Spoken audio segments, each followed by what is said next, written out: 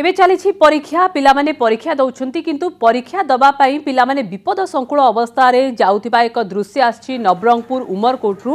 ଯେଉଁଠି ପରୀକ୍ଷା ପାଇଁ ଜୀବନକୁ ବାଜି ଲଗାଇଛନ୍ତି ପିଲାମାନେ ନିଜ ଜୀବନକୁ ବାଜି ଲଗାଇ କିପରି ବିପଦ ସଂକୁଳ ଅବସ୍ଥାରେ ପରୀକ୍ଷା ଦେବାକୁ ଯାଉଛନ୍ତି ଦେଖନ୍ତୁ ଏହି ଦୃଶ୍ୟକୁ ବଡ଼ଭରଣ୍ଡି ଆଶ୍ରମ ବିଦ୍ୟାଳୟର ଦଶମ ଶ୍ରେଣୀରେ ପରୀକ୍ଷା ଦେବାକୁ ଯାଉଥିବା ଛାତ୍ରମାନେ ନବରଙ୍ଗପୁର ଜିଲ୍ଲା ଉମରକୋଟ ବ୍ଲକ ଅଧୀନରେ ବଡ଼ଭରଣ୍ଡି ସ୍କୁଲ ପିଲାମାନେ मैट्रिक परीक्षा देप एक चारि सात गाडीले विपद सङ्कुल अवस्था दस किलोमीटर ऊर्ध्ध बडकुमारी गाँ र कलिङ विद्यालय परीक्षा केन्द्र केन्द्रको जा आश्चर्य कथा पिजेजे पाँचश टा स्कूल प्रधान शिक्षकको आउ पहि टाइ स्कूल प्रधान शिक्षक अवनी मजुमदार गाडी ठिक गरि ପିଲାମାନେ କହୁଛନ୍ତି ଅନ୍ୟପଟେ ଚାରିଶହ ସାତ ଗାଡ଼ି ଡ୍ରାଇଭର କହୁଛନ୍ତି ପିଲାମାନଙ୍କୁ ପରୀକ୍ଷା କେନ୍ଦ୍ରକୁ ଯିବା ପାଇଁ ଗାଡ଼ି ମିଳିଲାନି ବୋଲି ସେମିତି ଠିଆ କରି ନେଉଛନ୍ତି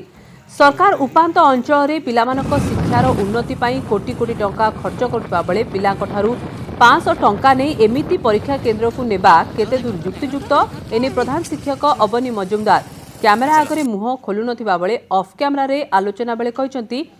ମ୍ୟାଟ୍ରିକ୍ ପରୀକ୍ଷା ଦେବାକୁ ଯିବାକୁ ସରକାର ତରଫରୁ କୌଣସି ବ୍ୟବସ୍ଥା ନାହିଁ ତେଣୁ ଅଭିଭାବକ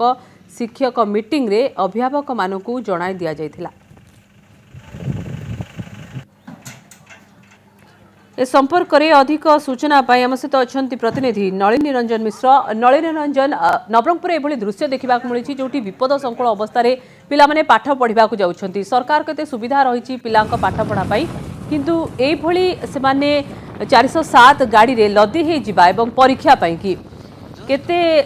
ବିପଦପୂର୍ଣ୍ଣ ରହିଛି ଏବଂ ପ୍ରତିକ୍ରିୟା କ'ଣ ମିଳୁଛି ବିଭିନ୍ନ ମହଲରୁ ହଁ ଦେଖନ୍ତୁ ଏଇ ଯୋଉ ଘଟଣାଟି ଯେତେବେଳେ ଆମ ନଜରକୁ ପ୍ରଥମେ ଆସିଥିଲା ପ୍ରକୃତରେ ଆମେ ମଧ୍ୟ ଚିନ୍ତା କରୁଥିଲୁ ଯେ କିଭଳି ଚାଲିଛି ରାଜ୍ୟର ଶିକ୍ଷା ବ୍ୟବସ୍ଥା ଦେଖନ୍ତୁ ପିଲାମାନେ ଚଳିବା ଅବସ୍ଥା ମଧ୍ୟ ଆପଣ ଦେଖିପାରୁଥିବେ ପିଲାମାନଙ୍କୁ ଯେଉଁଭଳି ଭାବରେ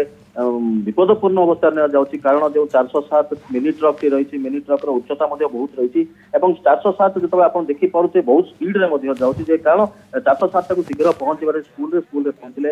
ସେ ପିଲାମାନେ ପରୀକ୍ଷା ଦେବେ ଏ ଯୋଉ ବିପଦପୂର୍ଣ୍ଣ ଅବସ୍ଥାରେ ଯାଉଛି ବାରମ୍ବାର ଦୁର୍ଘଟଣା ମଧ୍ୟ ନବରଙ୍ଗପୁର ଜିଲ୍ଲାରେ ଦୁର୍ଘଟଣା ମଧ୍ୟ ଏକ ସାଧାରଣ ଜିନିଷରେ ପରିଣତ ହୋଇଥିବା ବେଳେ ଏଇ ଯେଉଁ ଛୋଟ ଛୋଟ ପିଲାଙ୍କୁ ଯେଉଁ ସେଫ୍ଟି ଭାବରେ ନେବା କଥା ଏବଂ କିଭଳି ଭାବରେ ଗୋଟେ ପିଲା ଯେତେବେଳେ ପରୀକ୍ଷା ଦେବାକୁ ଯାଉଛି କିଭଳି ଭାବରେ ପରୀକ୍ଷା ଦେବାକୁ ଯିବାକୁ ପଡ଼େ ଏବଂ ତାର ମାନସିକ ସ୍ଥିତି କିଭଳି ଥାଏ ଏ ସମସ୍ତ ଚିନ୍ତା କରିବା କଥା ସ୍କୁଲ କର୍ତ୍ତୃପକ୍ଷଙ୍କର ଏଭଳି କି ଯେଭଳିକି ପିଲାମାନଙ୍କୁ ଯେତେବେଳେ ଆସିଛନ୍ତି ସେମାନଙ୍କୁ ଅଭିଭାବକମାନେ ଯେତେବେଳେ ପ୍ରଧାନ ଶିକ୍ଷକଙ୍କ ସହ ମଧ୍ୟ ବିଷୟରେ ଆଲୋଚନା କରୁଥିଲୁ ସେ କହିଥିଲେ ଯେ ଆମେ ପିଟିଏମ୍ରେ ମଧ୍ୟ କଥା ହେଇଥିଲୁ ଯେ କିଭଳି ଭାବରେ ପିଲାମାନେ ଯିବେ ସେ ଦାୟିତ୍ୱ ଆପଣମାନଙ୍କର କିନ୍ତୁ ଏଇ ଯୋଉ ଦୁଇ পরিবার লোকঙ্ক যে অভিভাবক মানকর এবং এই যে স্কুল পরিচালনা রয়েছে সেই স্কুল যে কর্তৃপক্ষ রয়েছেন সেমানে জানি শুনি পিলাঙ্কু এইভাবে নেওয়া এবং বিপদপূর্ণ নেওয়া প্রকৃতরে দুঃখদায়ক ঘটনা